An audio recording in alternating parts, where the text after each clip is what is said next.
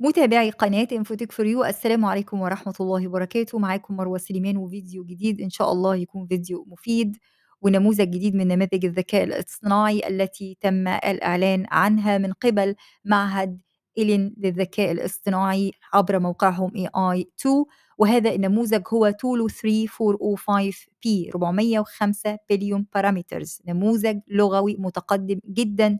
وحسب ما بيقول معهد إلين إن هذا النموذج هيكون طفرة في عالم نماذج الذكاء الاصطناعي مفتوحة المصدر. هيبقى نتائجه رائعة خصوصا في الجزء المتعلق بالبرمجة والرياضيات وأيضا الأسئلة المعقدة. إيه الهدف الرئيسي بقى من هذا الإصدار؟ لأن إحنا لو رجعنا لموقع اي اي 2 هنلاقي إن أصدر نموذجين بنفس الاسم تولو 3 8 b و 7 t b.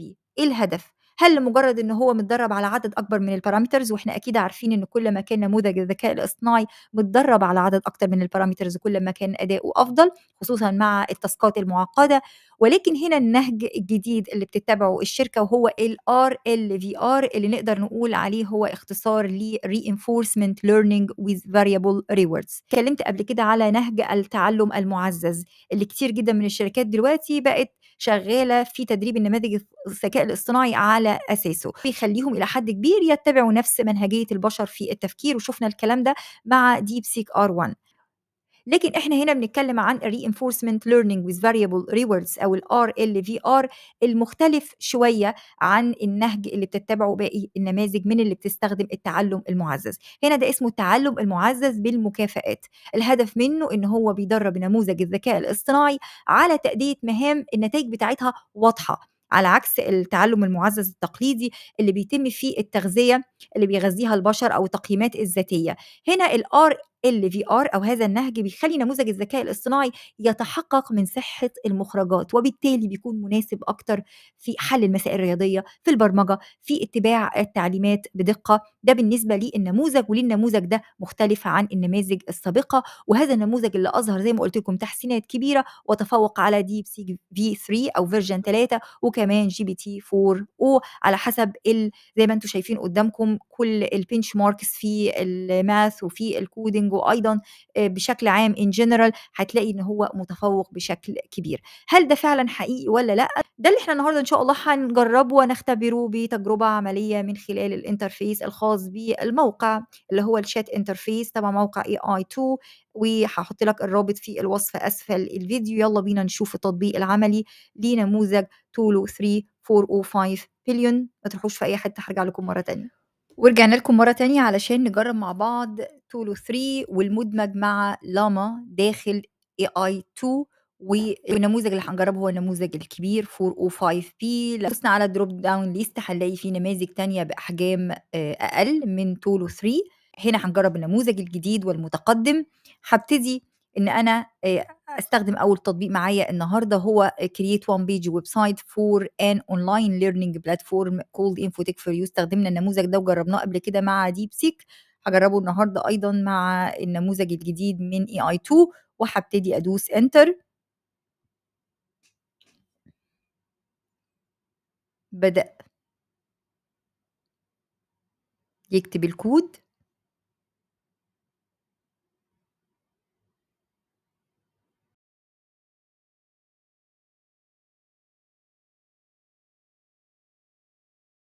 ابتدي آخد كل ده copy كده. هنا أنا مش لاقية ال icon بتاعت ال copy من المفترض إن يظهر هنا في icon خاصة بيه ال copy مش موجودة لأن أنت لو خدت copy من هنا هياخد كله حتى ال text الموجود تحت. هنا المرة دي هخش على HTML Online Viewer علشان أجرب الكود وهنا اعطاني على الناحية التانية الصفحة ال one page website فيها كل الحاجات اللي أنا عايزاها. تمام نفذ لي الكود نجرب تطبيق تاني. هبتدي أدوس على new chat من هنا ال interface بتاعه سهل زي ChatGPT هنا هبتدي أدوس على new chat هينقلني لشات جديد. وهنا ال thread history كل ال history موجود هنا. هنا هبتدي أجرب تطبيق آخر. هنا هقول له create a playable piano keyboard using HTML and CSS هنا interactive piano keyboard لوحة مفاتيح البيانو هروح لل HTML Online Viewer أحط الكود هيتنفذ على طول.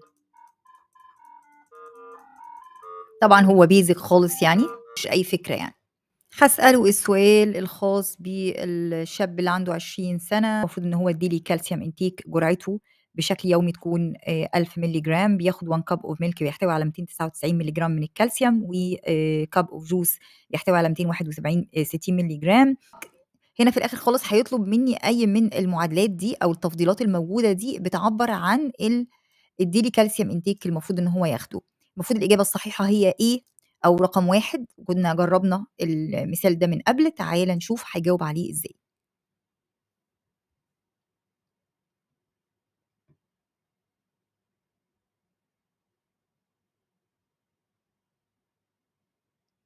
هنا الإجابة الصحيحة هي رقم آآ 1 تعالوا نشوف مثال تاني.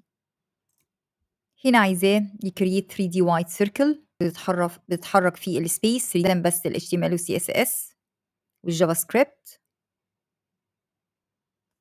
هابتدي آخد الكود طبعًا لو يrun الكود يعني تبقى حاجة في منتهى الجمال. الonline viewer عشان نجرّب الكود بتاعنا، هي واجهة سهلة جدًا لتنفيذ الكود بدل ما أروح لVisual Studio Code. وزي ما إحنا شايفين دي ال3D model بتاعتنا، هاشيل بس here دي. هاطلب منه هنا إن هو يكتب عن الrule of artificial intelligence in health care وعايزة الassignment ده يكتبه لي بشكل معيّن. عدد الكلمات قد آآ اللي يعرّف الAI discuss الevolution of AI in medicine الثورة الخاصة بالذكاء الاصطناعي في في الmedicine أو في الطب وحاجات كتيرة طالباها منه، هاشوف هل هينفذ لي اللي أنا طلبته والّا لأ.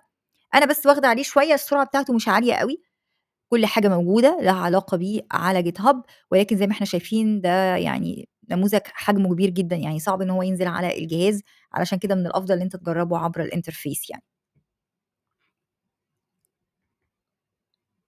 هنا ابتدى يدّيه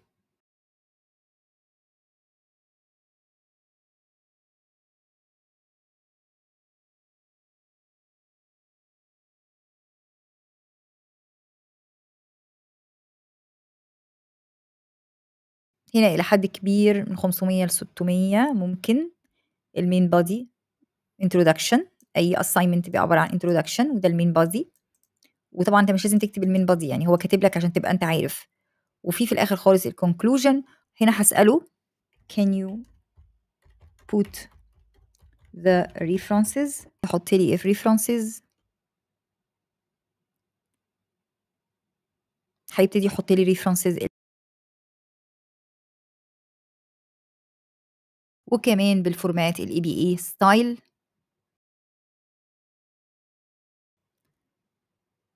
زي ما إحنا شايفين نموذج تقدر إنك أنت تستخدمه من خلال الواجهة أو الplayground الخاص بموقع AI2 أنا كمان مش مسجلة، مش عاملة login هابتدي أجرّب بالعربي.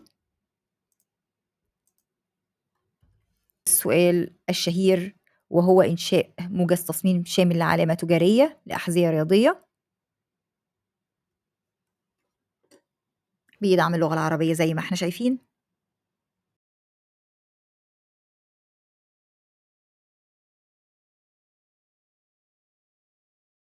في الإجابة، إجابة محددة، منظمة.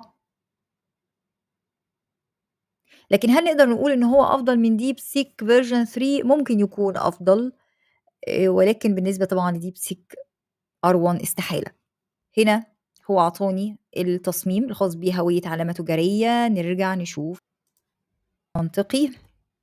أحمد إيزابوي عنده 3 sisters each of his sisters have the same 2 brothers how many brothers and sisters does أحمد have؟ أحمد ولد عنده 3 بنات إخوات، كل آآ بنت لها آآ ولدين إخوات، كم عدد الbrothers and sister does أحمد have؟ شوف الإجابة. هنا هيقول لي أحمد has 3 sisters of each of his sisters has 2 brothers and since أحمد is a boy he is one of these brothers. فهنا أحمد هيكون له 1 brother and 3 sisters وهي دي الإجابة الصحيحة. تمام، نشوف حاجة تانية.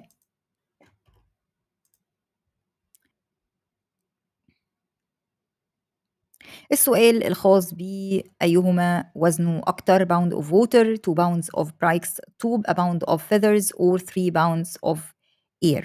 هنا الإجابة الصحيحة هتكون 3 pounds of air وهي دي الإجابة الصحيحة وفسر لي ليه هذه هي الإجابة الصحيحة.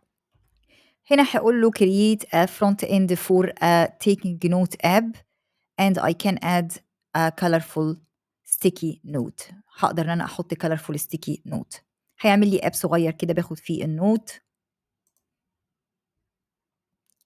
هنا ابتدى يعمل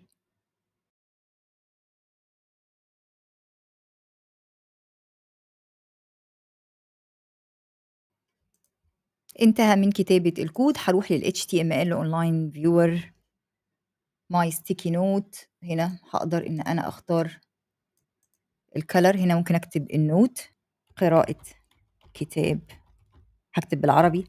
الساعة السابعة مساء مثلا. هقول له add note هنا أقول كورس تسويق إلكتروني.